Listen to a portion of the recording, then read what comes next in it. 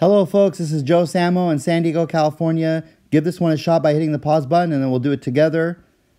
All right. I hope you tried it on your own. Let's do it together. The sum of three numbers equals 855. One of the numbers, x, is 50% more than the sum of the other numbers. Uh, so what the heck is this? We have three numbers. So we can say x plus y plus z equals 855. And then it says that x is 50% more than the sum of the other two numbers.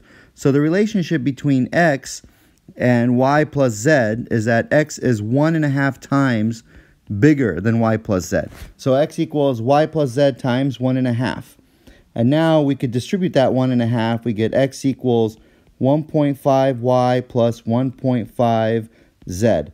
And what we want to do is we want to figure out what y plus z equals. So then that way we could take it out of that the top equation up here, and then we could isolate what x equals. So let's plug in 1.5 plus 1.5y plus 1.5z into that equation. So we had we had x plus y plus z equals 855, and then we're going to plug this in for x. So we get 1.5y plus 1.5z plus y plus z equals 855. And then as you can see, you know, you could add the y's together and then you could add the z's together. So 1.5y plus y is 2.5y plus uh, 2.5z because 1.5 plus 1 is 2.5 equals 855.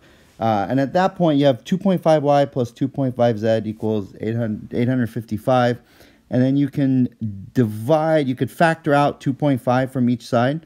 So if you do that, y plus z equals 2.5. And then what the heck is this?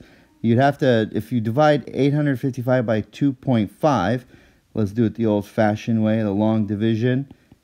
All right. Uh, at this point, I'd probably just go like that. Boo. Okay, so you have 25 goes into 85 three times. All right, good old long division. Uh, and then 25 goes into 105 four times. You get 50, and then 25 goes into 50 twice.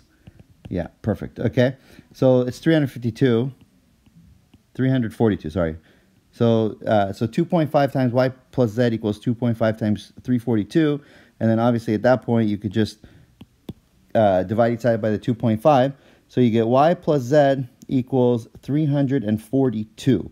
Now we go back to this original equation where we have x plus y plus z equals 855. And we could substitute 342 for y plus z. So we get x plus 342 equals 855. And then at that point, you could subtract 342 from each side.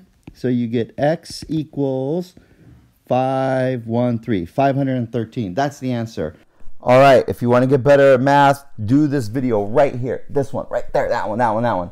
Uh, and then you're going to love doing these. You're going to get better at it. Just keep on going, keep on practicing, and you're going to rock and roll. All right, bye.